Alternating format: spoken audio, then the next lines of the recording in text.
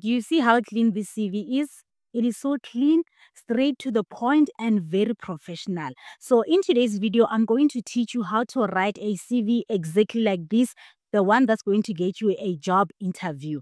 But before we get into that, hi everyone, my name is Lehle Khonolo Chweni and I welcome you on the Success Link, a channel that talks about career development and business development.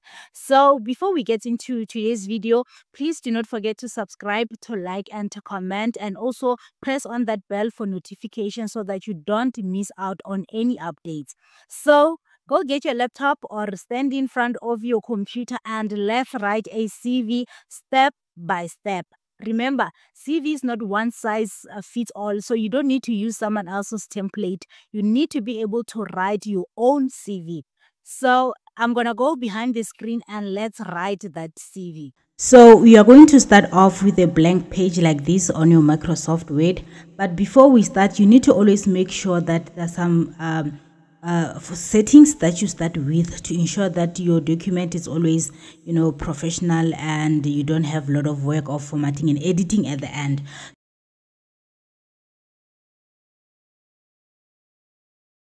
So when you can come up here to the search tab and say margins then that margins thing will pop up and then with different options there i would advise that you go for the normal margins. That way it makes life easy and then when you're done with that we're gonna work on the style uh, the font size and style.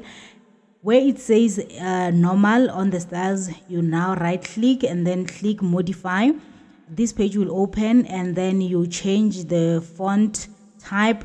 I normally love using Century Gothic but you can use arial or verdana as well.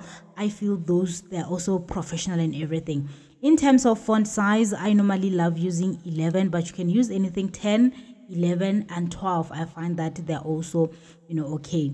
And then in terms of the um, uh, the alignment, please click on justified to make sure that you the alignment is neat and uh, professional. And then when you are done, you press OK.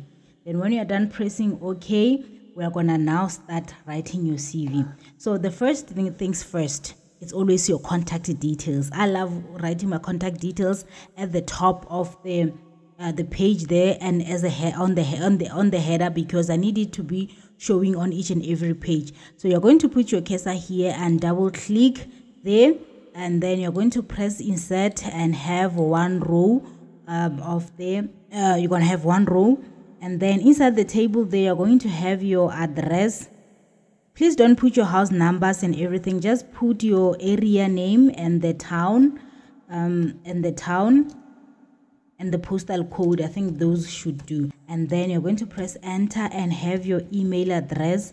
Please when you have your email address use a formal email your surname and your initials or your surname and a number but not some funny email address like terminator one anaconda what what. No don't have that. Use a normal emails. Can be your name and your surname.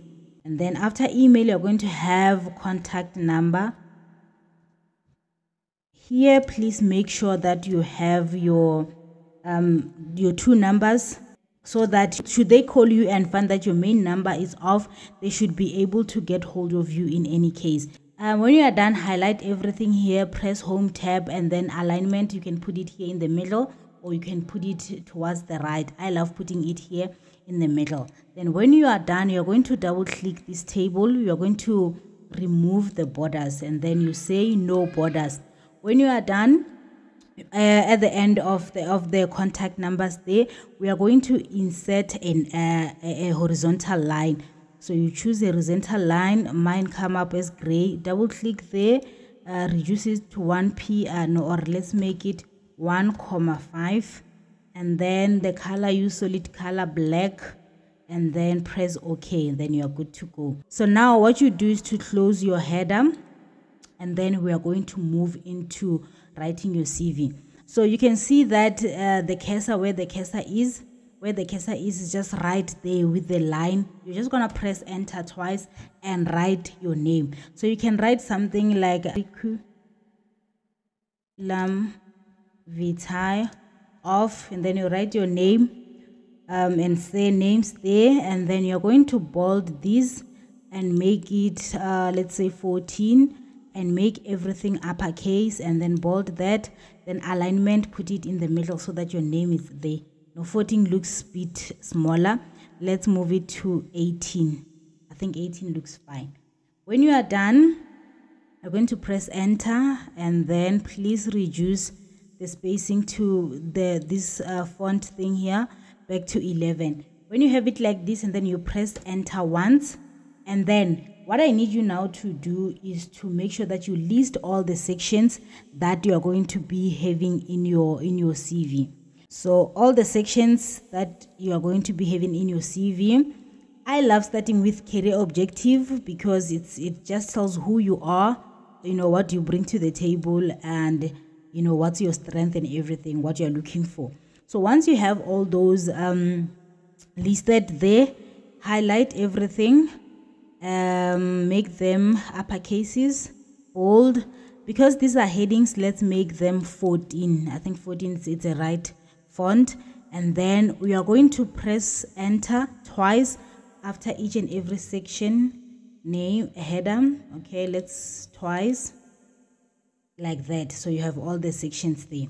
So you're going to highlight this one, uh, the first one, and then come to the um, border put top border and lower border so you're going to do all this step for all the all these uh, sections when you have them listed as you start it helps you to not forget anything you see now already we have our skeleton and then we need to put the meat in. Then in the career um, objective or personal statement write something concise a, just a concise paragraph with two to four lines that will summarize who you are what you bring to the table and your career goals. Let's say you are an education graduate and then this is your first job of course. So you're going to write a simple thing like the one that i have pre-written. I'm just going to copy and paste this here then once you have the uh, career objective there, um, uh, you are going to move to writing your skills. So in terms of skills, I love putting them in a um, format, uh, in a uh, bullet point form.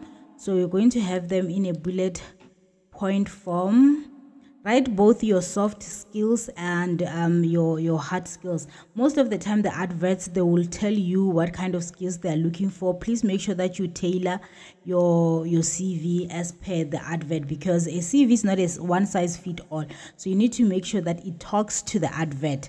So when you have all your skills listed there you then um, you can also just on google search the relevant skills that are relevant to your job or you just have to rely on what the advert says they want and then you add other skills that you have as well. So now when you are done we are going to move to education. Here in the education section you're going to have your degree and field of study institution name graduation date or expected graduation date and then also highlight your honors and other achievement. So under under this one you're going to have a header. Um i already had pre-written this Ooh. So if something like this happens, maybe you're copying and pasting or you are writing and then the the font is not similar to what you had said, please go back and fix all these. Come back and re- come back and reduce um, the font to 11 and unbold everything there. But the education part you can bold it and have it like that and have have the education uh, background listed and start with the most recent one you know uh, going down and then you can also add subjects or the coursework.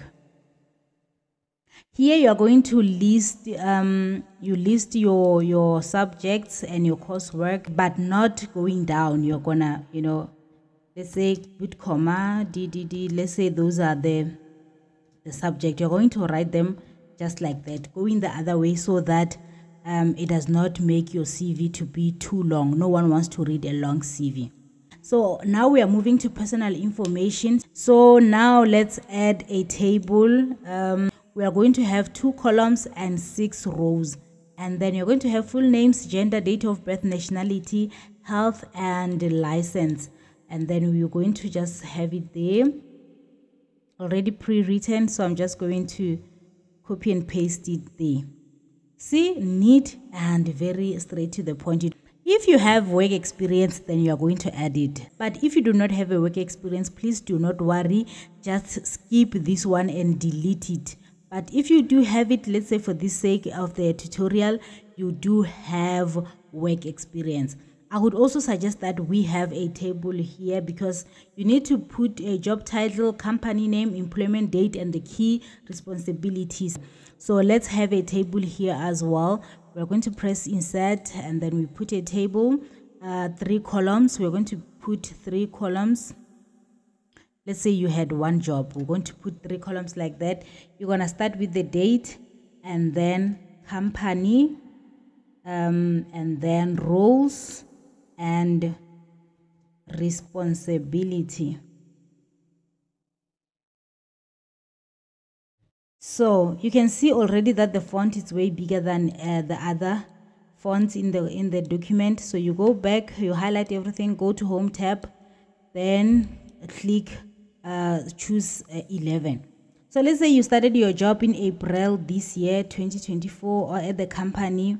Um, it's food. Ah, it's a company. and then this side of the roles and responsibility, you're going to put the position that you're working in. Let's say you were a waiter. I'm gonna write that. Um, let's fix the formatting here, unbold everything, font 11, and then on the position here, I think this one we can highlight it.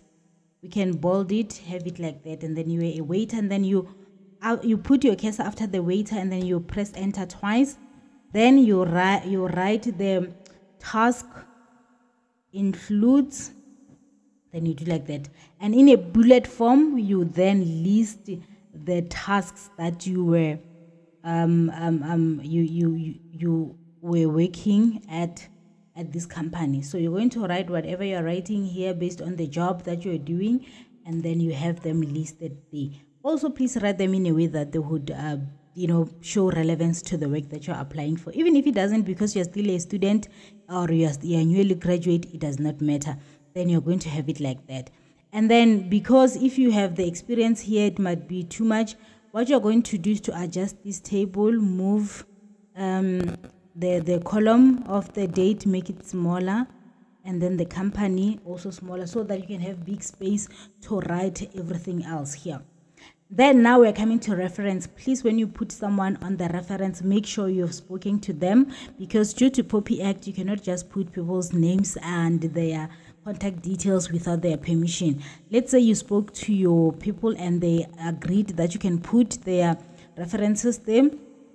You are going to now uh, enter, uh, put a table, maybe three columns as well, and then you're going to have two or three um, references. And then here you're going to have name and say name of that person the company and also their contact details. And then you can also here even add your your lectures and stuff but please make sure that you put people that will talk highly of you who will not make you lose your your your opportunities. So you see now this CV is so straight to the point. It's two pages and straight to the point. Did you see how easy that is? If you apply everything that I've taught you into this video, you are definitely going to be getting job interviews left, right, and center. They're just going to be calling you. Every job application that you send, you are going to be called for an interview because here we are a success tribe. Please don't forget to comment, to like, and to share.